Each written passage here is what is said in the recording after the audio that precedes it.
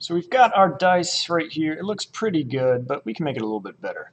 Let's actually go back to that side six. I'm going to show you that second way that we can do this. Let's add those all back here. Add my faces all back. Uh, I want to edit my side six side sketch. So I'm going to find that over here. That's sketch seven.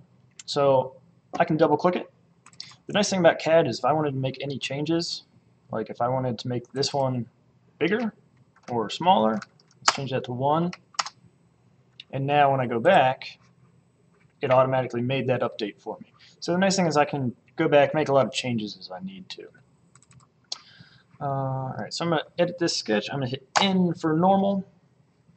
And let's do the side all over again. Let's just delete it all. And so I just hit delete on the keyboard. And let's do side 6 with uh, multiple uh, sides that I'm using a mirror for. So do, do, do, let's add one dot on here. So I'm going to add one dot up here that's 4 over, 4 down, and it's 3 millimeters. So remember I'm doing the side with 6, so I'm going to make a circle click, move, click. I'm going to make it 3 millimeters, enter. Now I'm going to put it in the right place. So I'm going to use my dimension button right here. Dimension. I'm going to click the center of my circle to the top edge. I want that to be click 4 millimeters. I want the center of that to the side edge to be 4 millimeters. So that again was that dimension button. So now,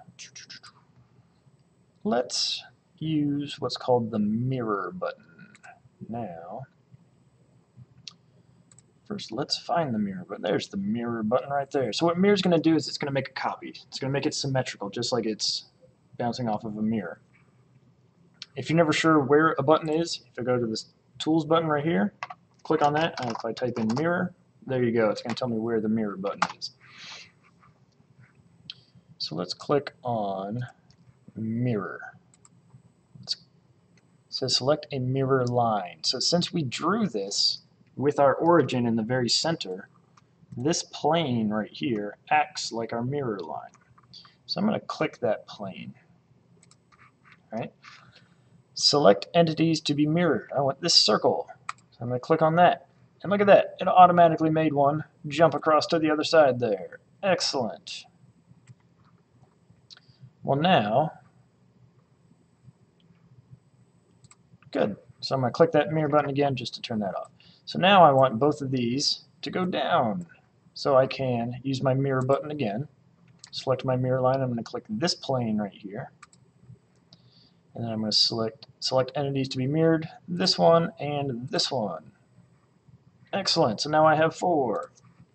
And then if I just want to make those last two, click on my circle, and what I'm going to do is I'm going to take my mouse up to this dot right here. I'm going to move it down slightly, and you see that dotted line, and that just shows me that it's lined up. It's coincidental with it. Those are constraints.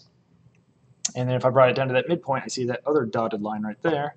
Click, move, click, three, enter.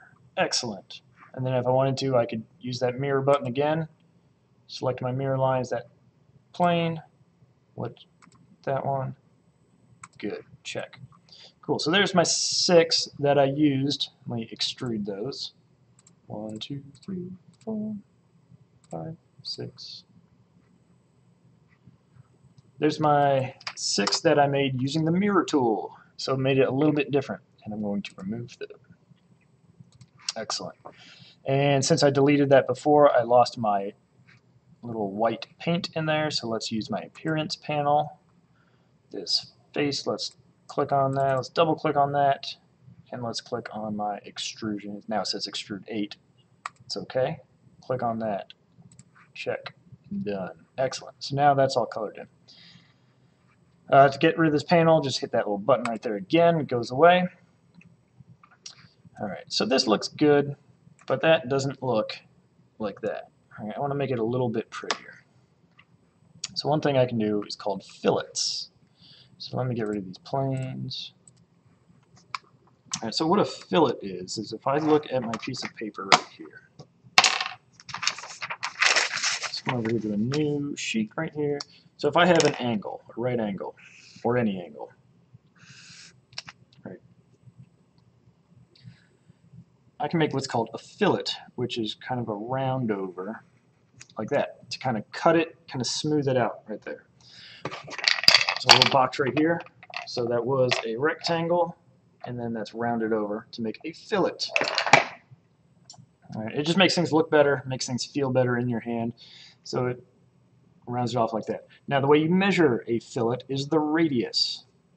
So I would imagine that this is the center of my circle. This is my radius.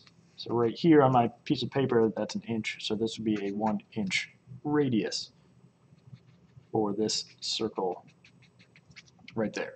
So that would be a one inch fillet right there. Uh, similar to a fillet is called a chamfer. So if I had that and I wanted to kind of just chop that off at a 45 degree angle, get rid of that, that's called a chamfer. So it would come up at an angle and then over like that. So just a little bit, a couple different ways to play with the edges of objects. So in Onshape, I've got this button right here, and this is entirely optional. This just makes it look a little bit better. When I hit the down arrow, I've got fillet, I've got chamfer, I've got draft. Draft kind of comes up at an angle. Rib adds a little rib in there. Shell, that makes it hollow. So if I wanted to make a hollow dice, that's how I could do it. And hole just drills a hole in it. Um, so fillet and chamfer are probably the two that you're going to use the most. So this one I'm use a fillet, which is round, versus a chamfer, which is flat. So I'm going to click on that tool. Click on fillet. Entities to fillet. So it wants me to select edges. So I'm going to click on these edges. And you can see it rounds it over for me. So that looks nice. I can do this and I can go through all of these edges. I think there should be 12 if this is a cube. And you can see they turn orange when I've got them all. So there we go. I've got them all right there. So this one right now is set to 2. We can play around with this. Um, so this is, you know, that circle right there, the radius of that circle. Let's just get silly. Let's put 5. And I'm going to hit Tab on my keyboard. Now, why didn't that look good? Why didn't that do anything? Because for some reason mathematically I can't have a 5 millimeter radius fillet. So let's go to 4. I think probably 2 is probably the 3. Alright, it doesn't like 3 either. 2, we know it likes 2. 1, you can see there's a little bit less of a rounded edge. I can even do like 0.5. See how that looks. All right, sorry, there's a announcement right there. So like a 0.5 would be a really small little roundover like there. So that's actually looks more like these ones right here. But if I wanted a more rounded one, again, I've got everything over here on my left-hand menu. I can double click it. I can bring that up to 2, and it's just going to re-update it. So that looks pretty good. So that looks a little bit better. Um, if I wanted to get rid of these lines, that's just how it's displayed. So this little camera and render options button, I can do shaded without the edges. So that looks pretty good. I can do shaded with hidden edges so I can see through it if I needed to. I can say hidden edges removed. So that's just kind of like a black and white line drawing, hidden edges visible. That's kind of if I could see through it. Translucence, like if it was made out of glass. And you can play around with these. I'm going to go back to shaded, just back to where we were. Also in this menu is some different views. So this is called an isometric view right here. So we'll use the isometric view a lot. Dimetric, trimetric, don't worry about those. We use isometric a lot. And then one thing that's going to look weird is if I turn perspective on, it's going to shift it all around. So this is kind of more your artistic looking, where you've got those vanishing lines, that uh, perspective lines. So this is kind of a more realistic version of it. And then this is going to look really weird when I go back. I go back to turn perspective off. So now it looks really bonkers for us. But this is kind of a more engineering drawing where it's not artistically correct, but this edge is parallel to this edge, which is parallel to this edge, which is what we want for engineering, to see what's parallel and everything. Um, one other thing we can do that I did with Maya, if I look at my little pips on there, they are not perfectly cylindrical like this. So just one other change I'm going to make real quick. I'm going to come back here to, let's see, extrude 1 was when I made a cube. Extrude 2 is when I first made that circular hole right there. If I add what's called draft, here, let's play around with this for a second right here. What draft is, is it comes in at an angle, either outward or inward. So you can see right here, it's defaulting to 3 degrees. If I put it at 15 degrees, you can see that's going to come out at a 15 degree angle. This angle right here is that draft angle. If I switch it opposite direction, click this button, it's going to go inward at a 15 degree angle. Um, that's used in manufacturing.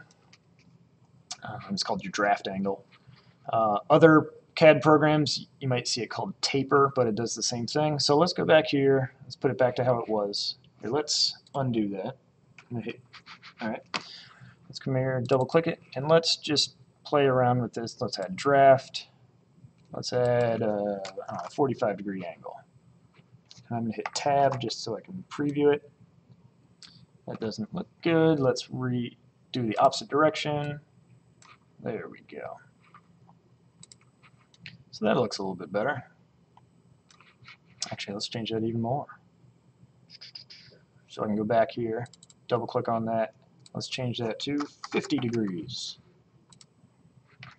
or 60 degrees. There we go.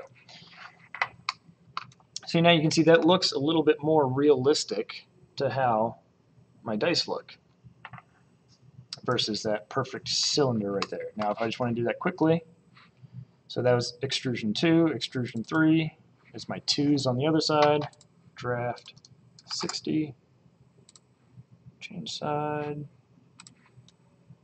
yep, cool, alright, extrusion 4, draft 60, change sides, I'm just doing this quickly. Again, entirely optional, not necessary. Draft 60. I'm just showing you how I did it to give it a more realistic look.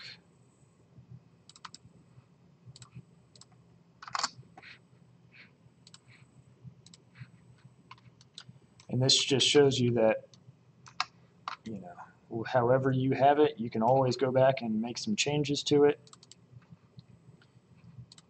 and it will do its best to follow those changes. So there you go. Let's turn those lines off, and now we've got a nice, beautiful die right there. So that's the one that I showed you in the little example at the very beginning. This is the exact same right here. All right. So as always, this is you know your project. Change the color if you want to. Change the color of the pips you want to make it look pretty. Play around with some of the other options if you want to. But there we go. There is your first beautiful six-sided die in Onshape.